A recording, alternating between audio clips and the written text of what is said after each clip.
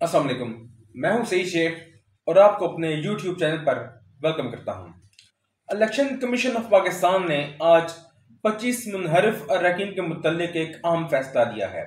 इस फैसले के मुताबिक वो 25 मुनहरफ अरकान जिन्होंने सूबाई असम्बली के वज़ीर अला के इंतखब में हमजा शहबाज को वोट दिया था, वो डी सीट हो गए हैं। आप इस बात पर गौर करें कि वो डी सीट हुए हैं, ना अहल नहीं हुए। यानी कि उनका वोट अब काउंट में नहीं रहा। हमजा शहबाज को फौरी तौर पर कोई खतरा नहीं है, वो डी सीट नहीं हुए हैं। आगे पंजाब असम्बली की क्या सूरत हाल होगी, इसके बारे में मैं आपको आगे चलकर बताऊँगा। फ़िलहाल बात करते हैं उस एक बयान की, जो कि बिलावल भुटो जरदारी ने अमेरिका में दिया।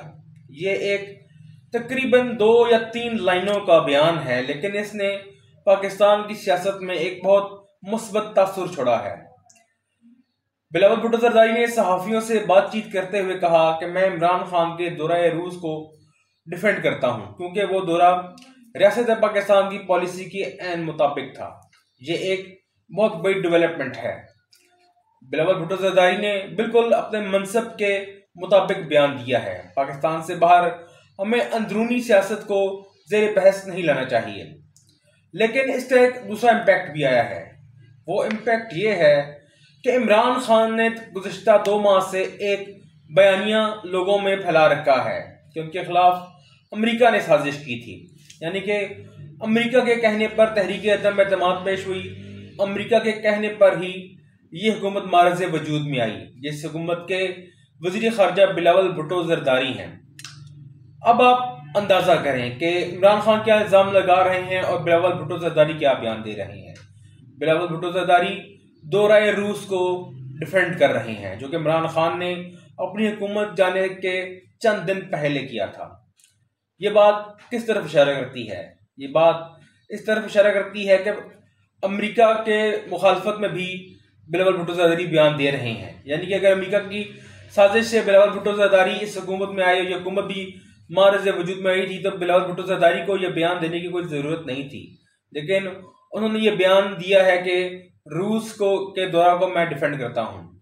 ये, इस बयान के बाद अमरीकी साजिश का जो बयानिया फैलाया जा रहा था, जो सुबह शाम टीवी पर दिखाया जा रहा था, वो बयानिया धड़ाम से नीचे आकर गिर गया है।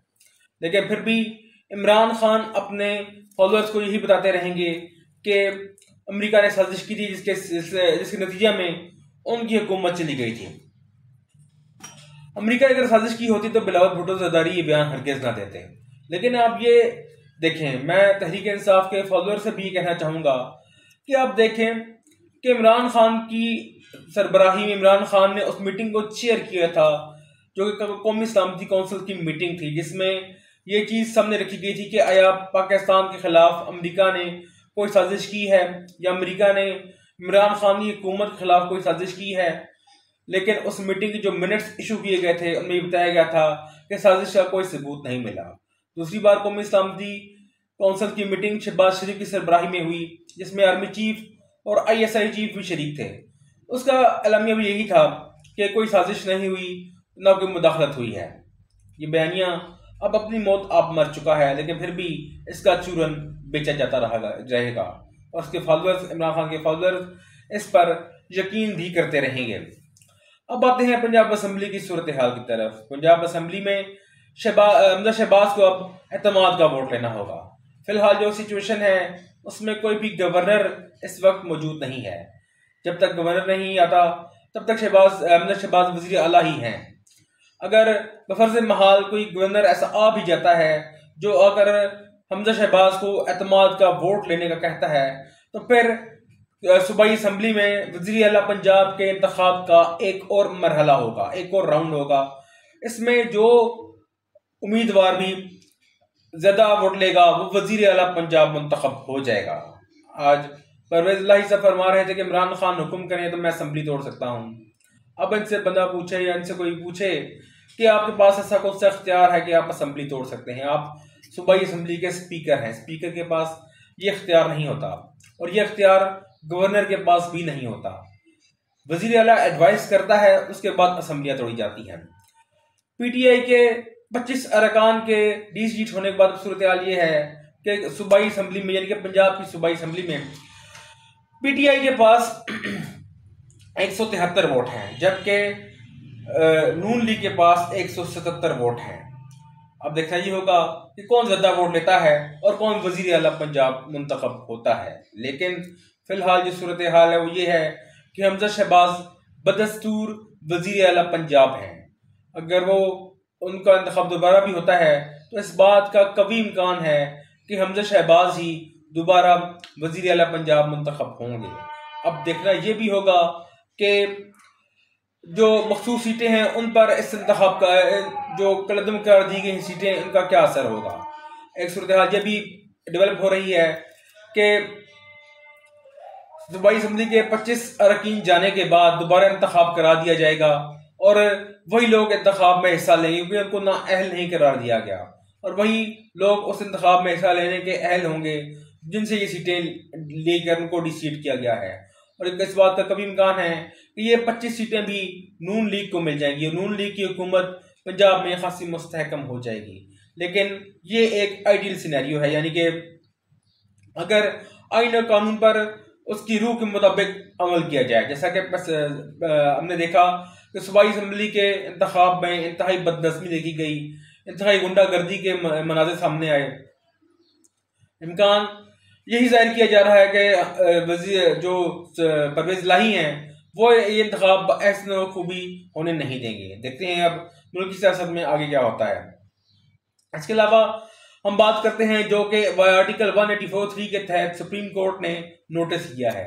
सुप्रीम कोर्ट ने एक मफरूजे की बुनियाद पर 184 थ्री के तहत अज खुद नोटिस लिया है, जिसमें वफाकी हुकूमत को किसी भी किस्म की तकरूरियाँ करने से रोक दिया गया है और किसी भी किस्म के तबादले करने से रोक दिया गया है।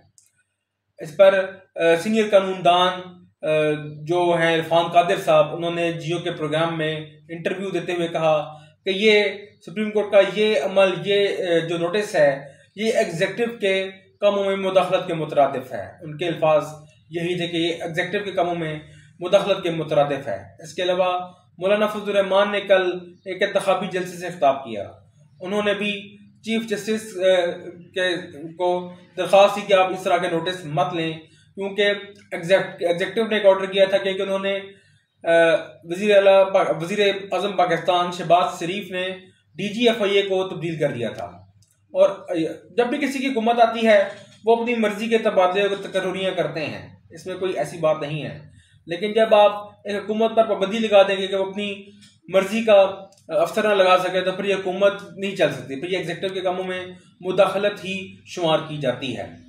बहरहाल, सुप्रीम कोर्ट पर खासी तनकीद हो रही है इस मामले में। उम्मीद है सुप्रीम कोर्ट भी इस पर दोबारा कोई हुक्म जारी करेगी। मौलाना फजलरहमान ने बड़े नपत अंदाज में चीफ जस्टिस को मुखातब करके कहा कि हम आपका एहतराम करते हैं और आपके फैसलों को कदर मंजिल के निगाह से देखते हैं। लेकिन अगर आपने इस तरह के इकदाम किए जिससे हमें बहुत मायूसी होगी और अगर आपने सिर्फ़ क्राउड के कहने पर, यानी कि अफवाहें ये भी हैं कि कुछ दिन पहले इमरान खान ने एक जलसे से खिताब करते हुए कहा था कि मोजिज अदालत इस बात का नोटिस लेके शहबाज शरीफ अपने केसेस पर असरअंदाज हो रहे हैं।